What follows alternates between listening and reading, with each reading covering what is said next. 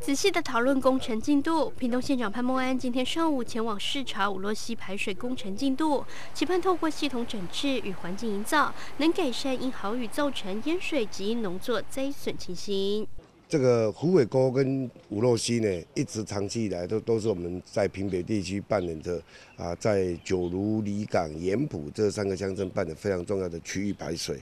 那多年来一直在整治。那虎尾沟的部分基本上大致完成。那虎尾啊，这个五洛溪的部分呢，涉及到啊，在有部分在九如的都市计划内，那用地取得上比较困难，所以我们特别也跟水利署。啊，来一起合作。五洛溪排水这个九块皮桥到新五洛桥这一段，哎，目前在施工中。那目前的那个进度大概五十二点多哈，那预定进度是五十点多。那我们预定，假如说不受呃未来的气候影响的话，我们预计在呃今年的十月份的话会来完工。好，那完工之后，我想针对这个。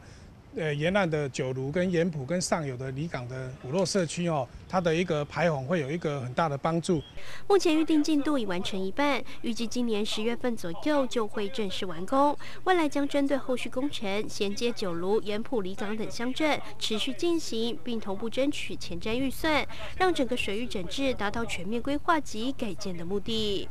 那当然，我们还同步启动了，在啊新完工之后啊新啊，我们希望在完工前就能够衔接新五洛桥到这个啊离港的五洛社区这个地方呢啊跨越九如、盐埔、离港啊，这个在上一段虽然居住人口比较少，但我们还是认为这些区域排水往往造成农田的损害，往往造成这个人民财产的损失呢，还是必须要列入，所以我们同步也争取的。这个前瞻预算，那也同步的核定了一亿多呢。我们也同时在办理用地取得以及工啊工程的细设，希望在工程这一期工程完完工前都能够顺顺利的来来接接上啊整个上游。